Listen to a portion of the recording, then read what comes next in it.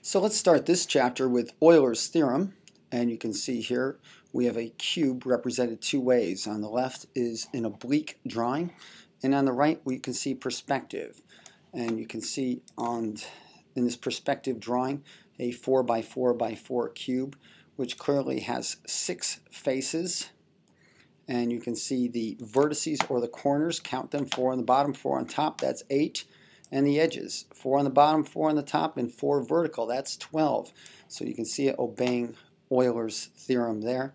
And just a side note, you are going to be mostly working with oblique. And what that means when you're drawing on pencil and paper, I'm going to draw this square. This is the, the front face, and I'm going to push it or project it like that.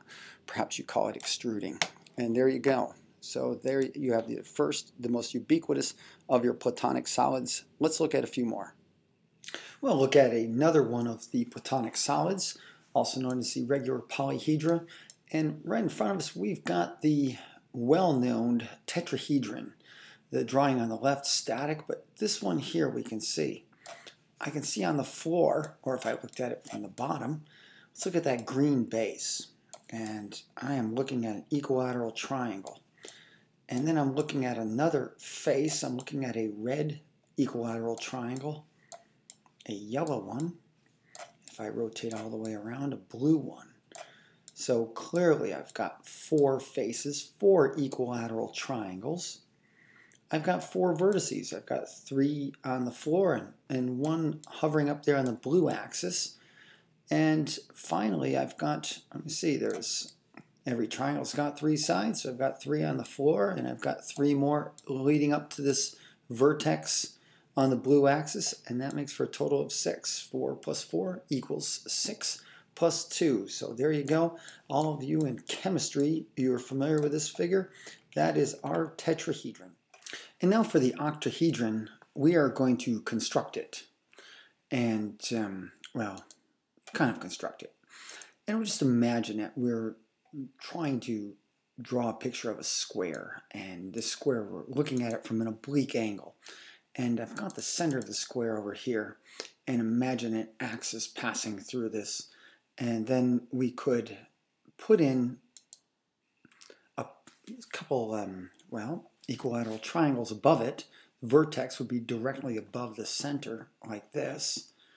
And um, I'm going to say, well, it looks like a triangular pyramid right now. Looks like a regular triangular pyramid, which it is. Um, and then we'll make a pyramid on the bottom as well.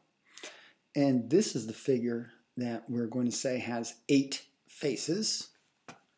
And let me see, the vertices, well, it's got four, it's got four of them in this plane and one on top and bottom, so that's going to be six and I can see four edges on top, four edges on the bottom. So it does again obey Euler's theorem. So let's have a, a look at this one. Um, and again, this it's tricky here is see this this square is inside. This is not a surface. That's just um, used for constructing this figure. That's internal. It's it does consist of eight equilateral triangles, making it regular polyhedra Again, a platonic solid. Let's shrink this guy up and move him over here so we can bring out another version. And this would be our SketchUp version. And again, as you can see, we've got the person in the middle. And I set it at 10 meters. So we've got our blue equilateral triangle. And below it, we've got an orange one. Um, she's standing on a plane, a 10 by 10 plane on the XY or the green-red axis. And I didn't finish to figure up because I thought we'd do that together. Let's move this thing around just a little bit. And you can see clearly one, two, three, four of these equilateral triangles and standing on this plane. And if we just wanted to spin that around, spin it around just a little bit more, and let's just connect some of the dots here. Move her down just a wee bit. And let's draw from this vertex to here, and from here out to here. And that should complete our figure. So we again we would have the eight equilateral triangles. And let's just mention the dodecahedron and the icosahedron. As you can see um, on the left, 12 faces, uh, each of them a pentagon, and on the right, 20 faces. So we won't be doing a lot with these figures, but that rounds out our platonic solids. Well, let's apply Euler's theorem that we've just been looking over. Exercises 15 through 17 in your textbook. We've got three figures here. The tetrahedron, which we've already discussed, clearly four. Uh, one, two, three, four triangles. Uh, triangular faces, four faces. I see three on the bottom, one up here, four vertices, and six edges. We've discussed that before, and we can see 4 plus 4 equals 6 plus 2. Well done. Square pyramid. Well, appears to be a square pyramid. We've got the two triangular faces visible and the two triangular faces in the background. Um, four triangular faces and the square on the bottom and the base, that's five faces. I see four vertices, four on the bottom and one up here, that's five. And there's four edges on the bottom, one, two, oops, three, four, and the four leading up to the vertex up top. That would be eight, and certainly that does also obey Euler's theorem. 5 plus 5 equals 8 plus 2. Now this shape is a triangular pyramid, I'm sorry, triangular prism, excuse me, which means it's got a triangular base here and a triangular base here. So that's two of the faces, and of course that means there's going to be one two face and the third face would be in the background. We can't see it from here. So three rectangular faces, two triangular faces for a total of five. Vertices, three down low, three up high, that's six. And the edges, let me see, for each triangle, there's three, there's three, four, five, six. And the three that connect the vertices, seven, eight, nine. So the edges would be nine. And once again, the faces 5 plus vertices 6 equals 9. That would be the edges plus 2. And that's all there is to it. Well, let's look at the next three exercises, 18 through 20. All three of these are prisms. And we classify a prism, imagine, let's think of, um, we have a shape, in this case a triangle, a triangular base here and here, and it's projected into a depth or if we were engineers, we'd say extruded. So we've got these sides here, one, two, uh, three rectangular sides, and these two bases, in this case, oops, triangular. So we can count, in this case, five faces for this triangular prism. Um, the vertices, well, I've got three here and three projected there, that's six. And of course the nine edges because as we can imagine, we've got three here, three here, and we've got three connecting these vertices for a total of nine edges. And again, obeying Euler's theorem.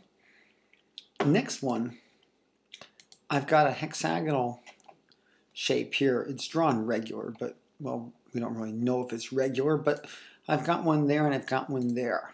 Imagine if I had a hexagon and I stretched it or extruded it. So I'd have those two hexagons, and then I'd have on the side one, two, th three, and I'd have six of these rectangles all the way around. So I'd have eight faces or surfaces. The vertices, well, I've got six here, and six pushed back on the second hexagon, that's 12. And the edges, again, I've got six edges on each of these two hexagons, that's 6 and 6, that's 12, and another 6 this way, joining them for a total of 18 edges. And again, faces plus vertices equals edges plus 2. Now, the next figure looks is pretty interesting, this L shape here, uh, which is projected this way into a prism. Well, it's actually still a hexagonal prism. It's actually identical to this figure as far as the Euler's theorem is concerned because I, I look here and I've got these two faces And as far as on the side, I've got the one, two, th three, four, five in the back, and six on the bottom. I still have eight faces. In the front, six. In the back, six. I've got 12 vertices and 18 edges. This is simply, this, well, this figure is concave. That is a concave hexagon, but it still has the same properties of a hexagonal prism and you can see that this number, exercise 20. In our next exercise, we're going to look at a cube. We're going to say we have a cube here, and we're going to pass a diagonal like this, cut through a plane, and see what kind of figure we generate. Well, clearly you can see from this perspective, it is a rectangle. So here we go with exercise 40. As we demonstrated in the other software, we've got a plane passing through this cube at the diagonal. So let's take this face here. I'm looking at a face right like this from the side and a diagonal looking like this. And I know that it's going to generate that cross-sectional area that's a rectangle. And again, I can see that it's going to have a little bit different measures because each of the sides going, this is going to be the same measure. This is the six inches. And I know that since that's the diagonal, that's going to be 6 radical 2. So there's our measurements right there. So now, of course, if I want to know perimeter, the perimeter of this figure is going to be twice uh, the semi-perimeter. And I'll just leave it in that form. And the area, of course, will be the product of the length and the width. And there you have it. Remember, this inches, square inches.